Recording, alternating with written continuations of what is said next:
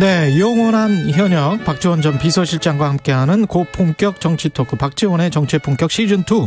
박지원 전 국정원장 전 대통령 비서실장 나와 계십니다. 안녕하십니까? 네, 안녕하세요. 네. 그 주말 주말 잘합니다. 아니 주말에 뭐 기자들이 전화가 많이 왔다고요. 주말이면 말이죠. 예. 저도 쉬는데 음. SNS 글을 안 올리면은 검찰이 잡혀갔나 그래가지고 자꾸 전화해요. 아주 괜찮아요. 아 아직 안 잡혀 가셨어요? 혹시 이렇게 전화가 옵니까? 아직 안 부르네요. 근데 저 지난 토요일에 서욱 전 국방부 장관 김홍희 전 해경청장 구속이 됐어요. 22일에 이게 이해가 안 된다고 비판을 하셨습니다. 아니 예. 사법부의 결정은 존중하지만 예. 뭐 기자들도 그러더라고요. 예. 그날 밤에 그 기자들하고 내가 저녁을 먹었는데 네. 아마 김홍희 전 해경청장은 그 진술이 좀 여러 가지로 복잡해 가지고 발부가 되더라도 음. 서욱 장관은 기각될 것 같다. 저도 그렇게 생각했는데 발부가 되니까 잘 이해가 안 돼요. 뭐 주소 어, 직접 출두했고 장관들이 무슨 뭐 도망을 가겠어요? 증거인멸은 다 정부가 가지고 있는 거고. 음. 그래서 나는 사실 국방부 장관이 구속되는 것은 굉장히 이례적인 일이죠. 상상을 해보면 증거인멸 우려라는 게 도주의 우려는 뭐 직접 출두했으니까 그렇다고 치고 증거인멸 우려라는 거는 뭐 전직 국방부 장관이나 전 해경청장이니까 혹시 지금 현재 이제 현직에 있는 관련자들에게 구속이 안 된 상태면 전화를 해서 뭔가 어떤 무언의 압박을 넣을 수 있지 않을까 뭐 이런 측면으로 뭐 해석될 수도 있지 않을까요? 저도 똑같은 입장인데요. 예. 지금 현직에 있는 국정원 직원들이나 음. 또 지금 퇴직한 정무직 차장들이나 일체 연락을 안 하더라고요. 아. 저도 또 할 수도 없고. 그렇죠. 아무래도. 예. 국방장관도 마찬가지 아닐까. 예. 그런데 오늘 아침 어, 경향신문 한겨레 보도에 의하면은 그 여러 부하 직원들이 그러한 지시를 받았다. 음. 그리고 공직 20년 만에 이런 지시를 처음 받았다. 이런 진술들이 있어가지고 네. 아마 사법부에서 검찰에서 그것을 계속 강력히 주장하니까 음. 증거인멸의 우려를 보았지 않는가 이런 기사를 보았습니다. 어떤 지시라는 거죠? 그러니까 삭제를 하라고 했다. 밈스의 감청 정보를 보도에 의하면은 서훈 안보실장과 서주석 네. NSC 1차장이 이제 공모를 해서 공모를 해서 예, 삭제를 지시했다고 하는데 저는 그건 이해를 못 해요. 왜냐하면은 어. 저도 예. 어떤 어, 청와대나 안보실에서 어떤 지시도 받지 않았고 어. 삭제 지시를 하지 않았거든요. 예를 들면 그때는 국정원장이셨죠. 그렇죠. 예. 국정원장이었죠. 네. 예를 들면은 3급 비밀은 상당히 여러 사람들이 보지만은 그 비밀 분류가 2급으로 올라간다거나 음. 1급으로 올라간다고 하면은 상당히 그 공개 범위가 제한돼요. 그렇죠. 예. 그렇기 때문에 하급 기관에서는 삭제로 보는가 이런 생각을 할 수가 있는데 네. 사실 그날 그 제가 국정원장 돼서 50여일밖에 안 됐기 때문에 음. 저는 뭐 솔직히 SI가 뭔지 첩보가 뭔지 정보가 뭔지 그런 구분 자체도 안 됐었어요. 또 음. 밈스만 하더라도 예. 어, 이 사건이 터져서 국방부 발표를 보고 처음 저는 그걸 알았는데 어떻게 됐든 그 비밀 분류에 따라서 열람 제한이 된다고요. 음. 이러한 것을 삭제로 받아들였지 않는가 저는 그렇게 생각합니다. 근데 검찰이나 법원도 그거를 알지 않을까요? 삭제와 열람 제한이나 이거는 구분이 충분히 될 텐데 밑에 예. 뭐 여러 어 직원들이 음. 그러한 것을 진술을 했다. 음. 그렇기 때문에 그 보도에도 얼마든지 앞으로 법적 다툼이 이루어질 거다. 예. 이런 사법부가 어떤 판단을 할지는 모르겠죠. 이 보도에 나온 거 보면 검찰은 표류 가능성에 무게를 실은 첩보 보고서를 박지원 전 국정원장 예. 님이 삭제를 하도록 지시했다. 그러면 이런 이런 보도가 나온 거에 이 표류 가능성에 무게를 실은 첩보 보고서는 보셨었습니까? 혹시 있었었습니까? 이런 게?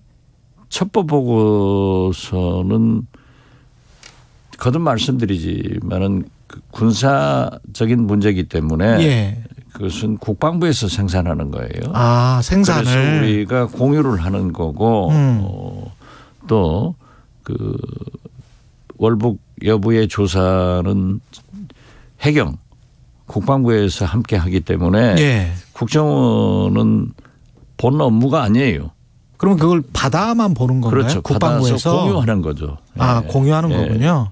그렇기 때문에 제가 예. 말씀드린 대로 저는 어디에서 제가 깍 이런 얘기를 하면 또 빠져난다. 이렇게 예. 오해를 하니까 제가 말을 참 참가하고 있는데 그렇게 예. 질문하니까 말씀드리는 거예요. 음. 지금 국 저는 음. 국정원장은 청와대나 안보실 어디로부터도 그러한 삭제를 지시받은 적도 없고 네. 또 지시한 적도 없다. 지시받은 적도 없고 지시한 적도 네. 없다. 그렇게 얘기를 했더니 예. 새롭게 나온 것이 보고서를 삭제 지시했다. 아. 네. 그것도 아니다. 그것도 아니다. 예. 지금은 이제 제가 음. 비서실장한테 얘기를 해서 비서실장이 이 차장 회의에서 원장은 청와대 회의 가고 없으니까 네. 어, 원장의 전원이다 하면서 그러한 삭제 지시를 했다는데 여러 가지 시나리오가 나오군요. 네. 그때 당시에는 이제 노영민 전 비서실장의 주재회를 아니 말씀. 우리 비서실장. 아 네. 국정원 비서 국정원장의 비서실장 그러한 사실이 없어요. 네. 네. 그런 사실은 없다. 네. 예. 귀성호무인 북송 사건과 관련해서 노영민 전 비서실장 조사했고 서해 사건 관련해서는 지금 조사가 계속 이루어진다면 서훈 전 비서 서훈 전 국가안보실장까지 간다고 하면 바로 그 다음에는 문재인 전 대통령 아닙니까? 그러니까 지금 제가 볼 때는요. 예. 문재인 종북, 예. 이재명 비리 이렇게 결정해가지고 윤석열 정권에서 총체적으로 전방위 수사를 하고 있고 총구는 문재인 이재명한테 가 있는 것 같아요. 아 그렇게 투트랙으로 저는 그렇게 봅니다. 문재인 종북 이재명 비리 비리 이렇게 가고 있는데 음. 저는 문재인 대통령으로부터도 지시를 받았지 않았지만은 네. 또 이재명 대표에 대해서는 본인이 사실을 부인하고 있기 때문에 음. 좀 기다려보자. 조사가 나올 것 아니냐 그런 네. 입장인데 그래서 저는 에 어떻게 윤석열 정권에서 전직 대통령을 용공으로 제1야당 대표를 비리로 이렇게 전방위적 핵폭탄을 가하고 있는가 어. 하는 것에 대해서는 굉장히 그 불만을 가지고 있습니다. 예. 그렇지만은 이제 검찰 수사가 없는 것을 만들어서도 안 되고 네. 또 저희도 있는 것을 숨기려고 해서도 안 된다. 사실대로 조사를 해라. 그렇죠. 저는 그런 입장이죠.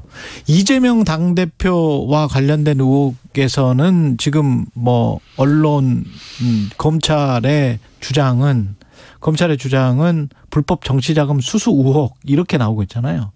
그러니까 성격적으로 보면은요. 음. 어 이 개발 대가기 때문에 뇌물이 되거든요. 네. 그런데 유동규 본부장 이런 것을 보면은 정치 자금으로 바뀌어졌더라고요. 그 광주를 돌고 있는데 뭐 예. 20억을 달라고 했다. 예. 그래서 그때 경선 자금을 달라고 한 것으로 자기는 받아들였다. 뭐 이런 식으로 이제 진술을 한 것 같아요. 그러면은 예. 뇌물과 음. 정치 자금법 위반과는 굉장히 형량의 차이가 있어요. 음. 어, 그렇기 때문에 일부 언론에서는 그 유동규 전 본부장을 검찰이 회유하기 위해서 정치자금법을 적용했지 않는가 음. 이런 얘기도 하더라고요. 그런데 아무튼 그 내용은 모르죠.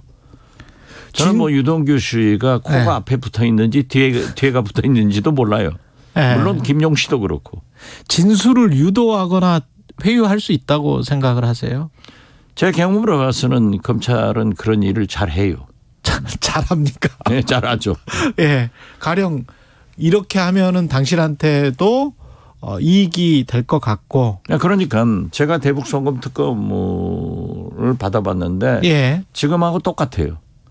김대중 아. 대통령으로부터 지시를 받았느냐 하는 것을 계속 해묻는 거예요. 음. 그리고 우리하고 같이 구속된 그 장관급 여러분들한테도 그런 얘기를 했어요.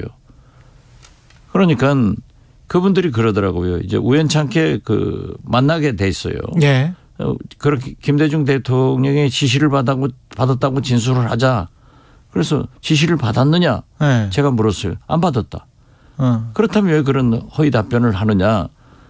우리는 내주고 꺼내주고 김대중 전 대통령은 전직 대통령이고 연로하시니까 구속 못할 것 아니냐. 음. 제가 그랬어요. 우리는 신체하고 승부를 걸고 어? 김대중 대통령은 역사하고 승부를 거는데 우리의 신체의 편함을 위해서 그런 역사에 죄 짓는 일을 하지 말자. 그래서 저는 거부를 했는데 나중에 자꾸 한다 하니까 그럼 나한테 했다 해라. 그래서 제가 몽땅 뒤집어 쓰고 뭐 20년 구형받고 12년 실형 받았지만은 네. 대법원에서 무죄 파기환송해서 살아나왔죠. 이 그러니까 사건도 진짜 오래 가겠습니다. 이, 이, 사건도 딱 보니까요. 네. 문재인 대통령의 지시를 받았다고 해라 하는 걸로 귀결되더라고요. 아니 이재명 당 대표 아니 그 그거는 뭐 서해 네, 사건 서해, 사건 말씀하시는 거죠. 예. 그러 근데 이 사건도 이재명 당 대표가 뭐 묵인했거나 방조했거나 또는 지시했거나 정치 자금을 활용했거나 알았거나 뭐 이쪽으로 이제 그렇죠. 그 결국은 그게 아니에요. 예. 그렇기 때문에 저는 지금은 유동규 시간이에요. 유동규 타임. 유동규의 그 타임이다. 사람이 기자들한테 재판정에서 얘기하는 대로 탑 뉴스가 되고 그냥 새카맣게 음. TV도 그냥 와구락을 다 그렇게 보도하잖아요. 그러니까 지금은 유동규 세상이 된 거예요. 민주, 거기에 예. 얼마나 예 이제 김용 음. 이런 분들이 반박을 하느냐 구체적 사실로 예. 인정을 하느냐 또 거기에서 이재명 대표한테 연결되느냐 하는 것들이 문제라고 봐요. 그런데 이재명 대표는 나는 아니다. 어? 음. 나한테 공산당 XX라고 한 사람들이 나한테 돈 줬겠느냐. 이런 얘기를 하는 거 보면은 저는 이재명 대표의 말씀을 믿는 거예요. 근데 이제 일부는 못 믿는 것 같은 사람들이 아, 못 믿는 거죠. 그러니까 지금 보시죠. 민주당 내에서도 아, 민주당에서도 있죠. 예. 있는데 나는 지금 민주당이 물론 그러한 견해가 있다 하더라도 음, 김혜웅 내일 지구가 멸망하더라도 네. 오늘 사과나무를 심어야 됩니다.